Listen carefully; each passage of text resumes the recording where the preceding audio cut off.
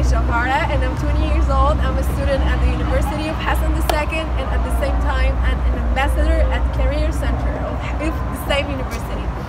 So I would love to say a huge thank you to all the team of Career Center and especially USAID for their amazing adventure because the whole purpose of all this students find their own future and to build their careers this, the way they want it. So let's get inside and see how it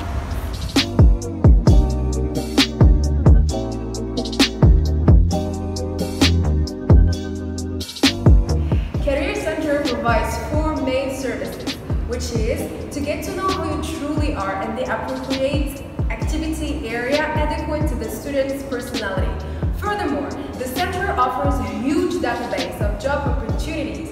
Also, service offers often workshops, seminars, uh, interviewing, so that the students can learn how to dress professionally, answer questions professionally, preparing his or her uh, resume or for his um, uh, job interviewing.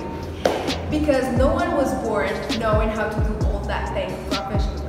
Without forgetting the important things is to work on the students' soft skills. Adding to all the services that you guys have seen with us, we have the Virtual Career Center with four main activities we talked about recently.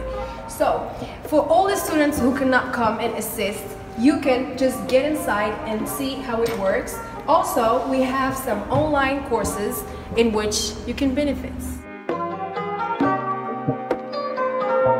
So, the center is yours. It is for you. So we are waiting for you. Come and see us. Thank you.